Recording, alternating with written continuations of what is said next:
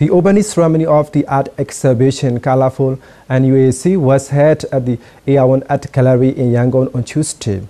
Arranged by National University of Arts and Culture and UAC Yangon, the art exhibition is aimed at the students to get practice and experience in arranging professional exhibition and other rules and regulations.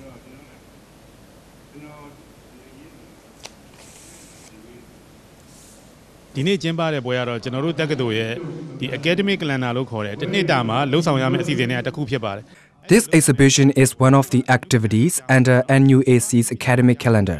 This is for the students to get practice and experience in arranging professional art exhibitions.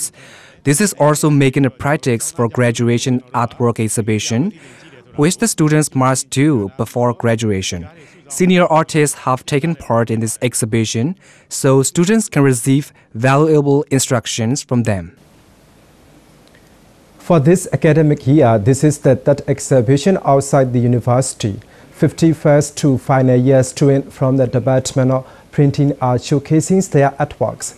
95 printings on display are watercolor, acrylic, pastel, sketch, digital art, depicting the scenes or scenery, object, human and still life.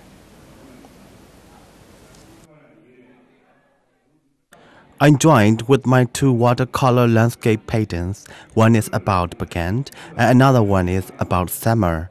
This exhibition is a step for us to go to further numerous exhibitions. I'm really glad to participate and to see my friends' artworks.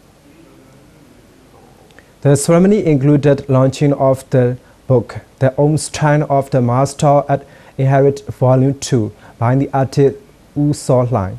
The colorful NUAC at exhibition is going to run from 10 to 27 of January.